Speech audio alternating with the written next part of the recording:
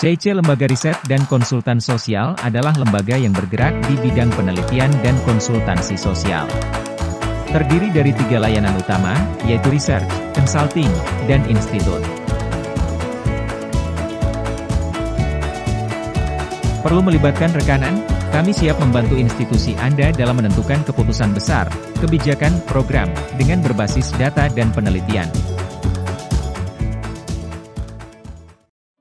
Assalamualaikum warahmatullahi wabarakatuh. Salam semangat Sobat CIC di mana pun berada. Kembali lagi dengan saya Eva Royandi. Dalam kesempatan ini Saya akan mencoba Mengkaji atau mengaji tentang sosiologi.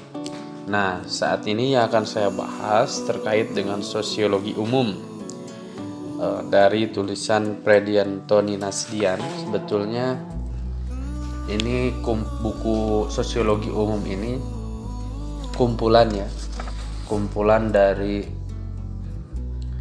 beberapa penulis di dalamnya. Uh, di mana saya akan coba menjelaskan tentang yang awal ya dan mudah-mudahan bisa sampai tamat ya sampai hatam gitu kan. Sampai selesai. Terkait dengan bagaimana perkembangan sosiologi ya. Dari mulai Agus Comte, Emil Durkheim, Karl Marx, Emil ya Emil Durkheim ya termasuk Emil Durkheim. Max Weber di situ ada. Jadi di sini dibahas dulu terkait dengan selayang pandang.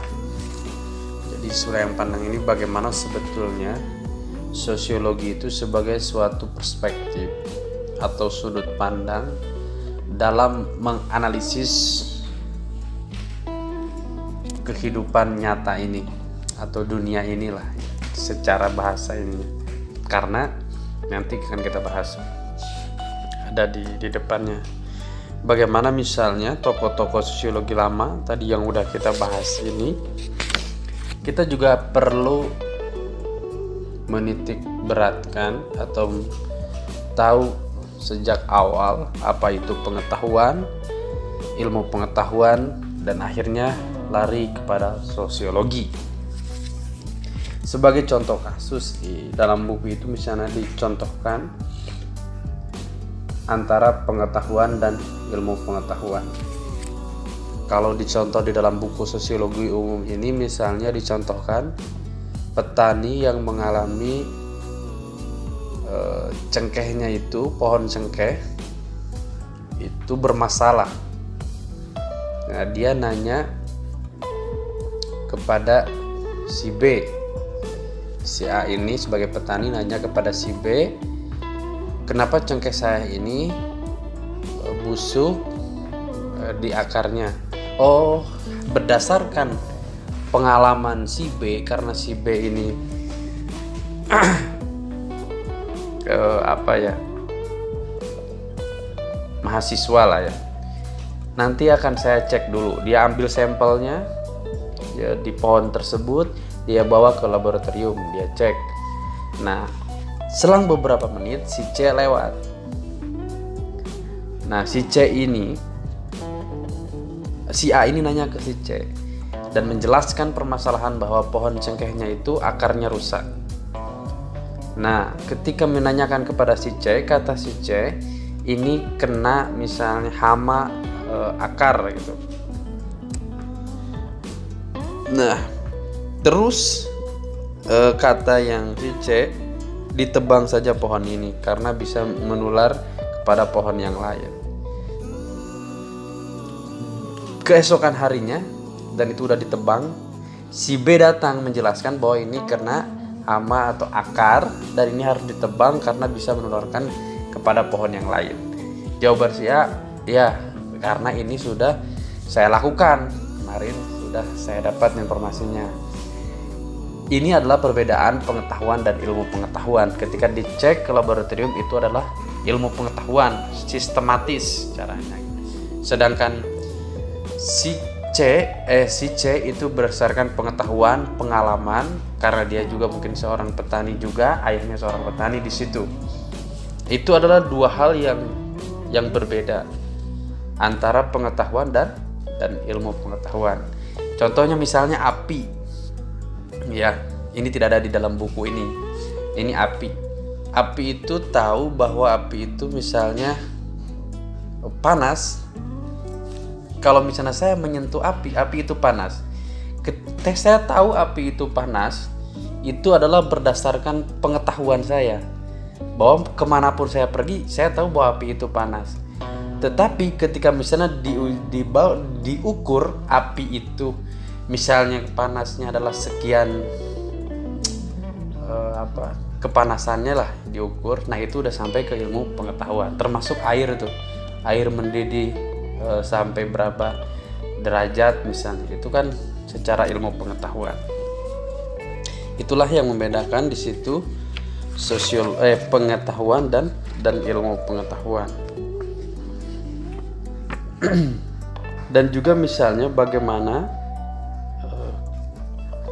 sosiologi itu juga mengkaji uh, masalah sosial ya, menjadi sosial gitu. Bagaimana misalnya manusia itu menjadi sosial? Kenapa disebut sosial gitu? Ini sekurang-kurangnya di dalam buku ini menjelaskan ada empat. Satu adalah manusia adalah sebagai makhluk yang tersosialisasi, bukan makhluk yang instinktif seperti hewan. Jadi dia individu itu disosialisasikan oleh orang lain dalam hal perilaku, ide, nilai, identitas, sikap, bahasa, dan perspektif, serta dalam hal kesadaran. Jadi manusia itu punya pikiran gitu. Di situ yang membedakan. Sehingga dia e, bisa bersosialisasi. Nah, kalau karena ada juga materi tentang sosialisasi ya dalam sosiologi itu misalnya karena saya tahu agama Islam saya tahu tentang nilai dengan norma itu karena proses sosialisasi. Makanya kenapa misalnya ada orang Jawa orang Sunda orang Sumatera orang Batak pasti karakternya itu berbeda. Dan nilai dan normanya itu berbeda. Kenapa? Karena melalui proses sosialisasi itu. Yang kedua adalah manusia adalah aktor sosial. Nah, ini jadi manusia itu adalah merupakan aktor sosial terus manusia membentuk pola-pola sosial. Ya, misalnya ada grup-grup lah ya. Kalau sekarang itu ada apa yang di Jakarta itu yang cinta yang fashion itu ya muncul di mana-mana gitu. Cepet uh, viral lah bahasa sekarang. Ada kelompok-kelompok itu dan itu dibentuk dari per individu-individu sehingga membentuk satu kelompok. Dan individu-individu individu-individu yang disebut manusia ini adalah tergantung satu sama yang lainnya. Jadi dia dan dapat bertahan ya survival. Jadi ada saling ketergantungan lah di situ dalam bahasa di dalam buku ini. Nah itu kenapa misalnya manusia itu sebagai makhluk makhluk sosial. Ada juga misalnya di dalam buku kalau misalnya di SMA ya kalian belajar di SMA itu ada individu sebagai uh, makhluk sosial. Ya, di situ bagaimana juga individu sebagai makhluk yang otonom gitu. Dia bisa menentukan mau A, mau B, mau C gitu tindakannya. Dan sebagai makhluk sosial itu ya kita tidak bisa hidup tanpa uh, yang lain. Dan perlu diketahui munculnya sosiologi ini bagaimana adanya revolusi industri dan juga revolusi uh, politik. Nah, jadi masalah sosial muncul di situ. Dan mungkin uh, sudah kita ketahui bahwa perkembangan renaissance ilmu pengetahuan di situ juga mulai ada. Nah, di dalam buku sosiologi umum itu juga uh, dijelaskan bagaimana misalnya Emil Durkheim itu mempunyai strategi institusionalisasi Mark Webber tidak berusaha mengembangkan suatu aliran meskipun prinsip tidak bertambah banyak. Jadi bagaimana Emil Durkheim dan Mark Webber itu juga uh, penting untuk uh, kita ketahui. Karena misalnya Mark Webber itu lebih kepada tindakan sosial ya. banyak ketindakan sosial sedangkan Emil Durkheim itu eh, tentang pembagian kerja kita bahas dari satu tokoh dulu Agus Comte di sana dia menjelaskan tentang uh, perkembangan ya atau perspektif evolusi dalam perkembangan sosial yaitu teologis, metafisika dan akhirnya menjadi positivis. Teologis ini uh, masih uh, manusia ini lebih kepada mempercayai hal-hal yang gaib yang di luar manusia. Bahwa satu benda itu ada suatu nilai gaibnya.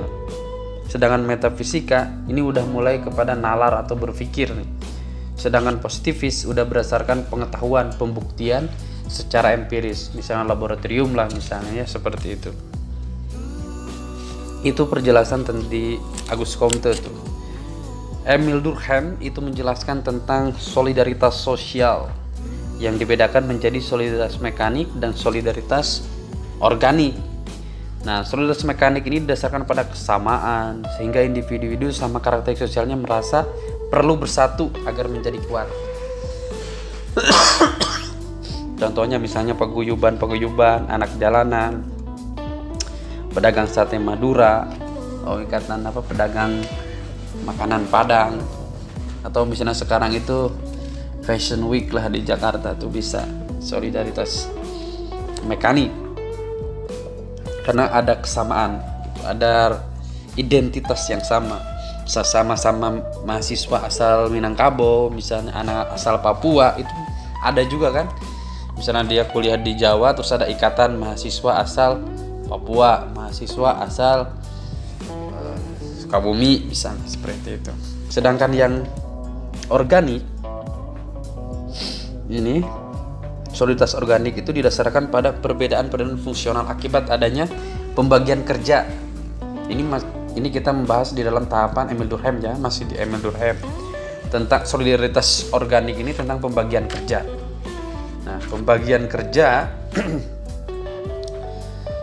uh, misalnya di suatu pabrik itu kan ada misalnya ada buruh bengkelnya, ada buruh celupnya, buruh tenunnya, dan buruh penghalusannya satu aja misalnya hilang atau tidak ada sakit itu bisa adanya ketidakberfungsian di situ. Ya, di situ. Jadi pembagian kerjanya udah spesifik lah di situ. Nah yang ketiga tokoh kita adalah tentang Max Weber tentang tindakan sosial. Di sini ada beberapa tipe. Misalnya tipe tindakannya tentang rasional instrumental yang didasarkan pada motif-motif efisien dan efektivitas untuk mencapai tujuan. Jadi kalau misalnya saya mau menikah dengan si A, karena si A rasional saya menguntungkan, nah, untung rugi lah bicaranya di situ ekonominya. Yang kedua tindakan rasional berorientasi nilai. Nah di sini bisnis juga nih, motif-motif penilaian sosial. Jadi didasarkan pada motif-motif pengejaran nilai-nilai sosial ada nilai-nilai yang diinginkan di situ. Yang kedua, tindakan tradisional yang didasarkan pada motif-motif kepatuhan terhadap tradisi atau adat istiadat. Ya, di situ ada nilai-nilai agama, di situ ada juga ya. Terus ada tindakan afektif. Motif-motif pelampiasan emosi atau perasaan di situlah. Itu adalah dari Max Weber. Jadi ada Agus Comte, ada Emil Durkheim, ada Max Weber, dan yang keempat adalah Karl Marx. Di sini terkait dengan konflik sosial. Nah, di sini terkait dengan bagaimana konflik sosial itu terjadi. Nah, ini Karl Marx nih, penjelasannya Karl Marx. Ada di halaman 28 di dalam buku Sosiologi Umum. Jika memang mau punya bukunya atau bisa nama beli ya bagaimana pemikirannya tentang sosialisme. Jadi masyarakat tanpa kelas yang agak sulit ya menciptakan masyarakat tanpa kelas. Tapi wallahu alam ke depan ada kelas kapitalis pemodal dan ada kelas buruh pekerja.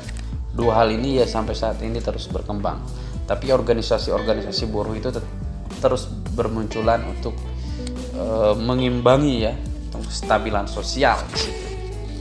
Nah itu e, empat tokoh yang bisa kita lakukan suatu analisis dalam mengkaji suatu permasalahan.